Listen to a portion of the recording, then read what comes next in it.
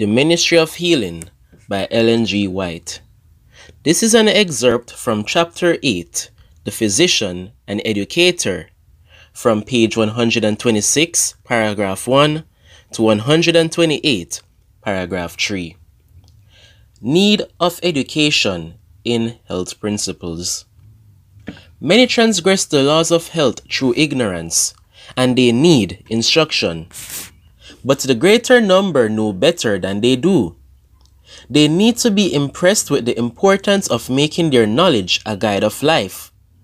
The physician has many opportunities both of imparting a knowledge of health principles and of showing the importance of putting them in practice. By right instruction, he can do much to correct evils that are working untold harm. A practice that is laying the foundation of a vast amount of disease and of even more serious evils is the free use of poisonous drugs. When attacked by disease, many will not take the trouble to search out the cause of their illness. Their chief anxiety is to rid themselves of pain and inconvenience. So they resort to patent nostrums, of whose real properties they know little or they apply to a physician for some remedy to counteract the result of their misdoing, but with no thought of making a change in their unhealthful habits. If immediate benefit is not realized, another medicine is tried, and then another. Thus the evil continues. People need to be taught that drugs do not cure disease. It is true that they sometimes afford present relief, and the patient appears to recover as the result of their use. This is because nature has sufficient vital force to expel the poison and to correct the conditions that caused the disease. Health is recovered in spite of the drug. But in most cases, the drug only changes the form and location of the disease. Often, the effect of the poison seems to be overcome for a time, but the results remain in the system and work great harm at some later period. By the use of poisonous drugs, many bring upon themselves lifelong illness, and many lives are lost that might be saved by the use of natural methods of healing. The poisons contained in many so-called remedies create habits and appetites that mean ruin to both soul and body.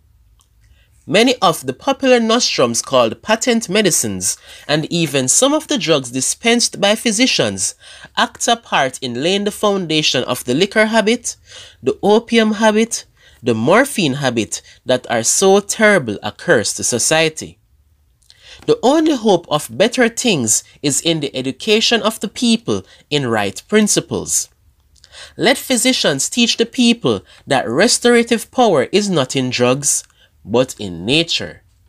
Disease is an effort of nature to free the system from conditions that result from a violation of the laws of health. In case of sickness, the cause should be ascertained. Unhealthful conditions should be changed wrong habits corrected. Then nature is to be assisted in her effort to expel impurities and to re-establish right conditions in the system. Natural remedies. Pure air, sunlight, abstemiousness, rest, exercise, proper diet, the use of water, trust in divine power. These are the true remedies. Every person should have a knowledge of nature's remedial agencies and how to apply them. It is essential both to understand the principles involved in the treatment of the sick and to have a practical training that will enable one rightly to use this knowledge. The use of natural remedies requires an amount of care and effort that many are not willing to give. Nature's process of healing and upbuilding is gradual, and to the impatient it seems slow. The surrender of hurtful indulgences requires sacrifice. But in the end, it will be found that nature, untrammeled, does her work wisely and well. Those who persevere in obedience to her laws will reap the reward in health of body and health of mind. Too little attention is generally given to the preservation of health. It is far better to prevent disease than to know how to treat it when contracted. It is the duty of every person, for his own sake and for the sake of humanity, to inform himself in regard to the laws of life and conscientiously to obey them. All need to become acquainted with that most wonderful of all organisms, the human body. They should understand the functions of the various organs and the dependence of one upon another for the healthy action of all. They should study the influence of the mind upon the body and of the body upon the mind and the laws by which they are governed. Training for life's conflict. We cannot be too often reminded that health does not depend on chance. It is a result of obedience to law. This is recognized by the contestants in athletic games and the trials of strength. These men make the most careful preparation. They submit to thorough training and a strict discipline. Every physical habit is carefully regulated. They know that neglect, excess, or carelessness, which weakens or cripples any organ or function of the body, would ensure defeat. How much more important is such carefulness to ensure success in the conflict of life?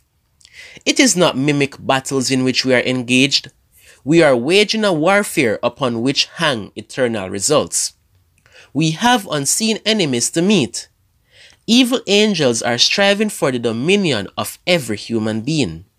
Whatever injures the health not only lessens physical vigor, but tends to weaken the mental and moral powers. Indulgence in any unhealthful practice makes it more difficult for one to discriminate between right and wrong, and hence more difficult to resist evil. It increases the danger of failure and defeat.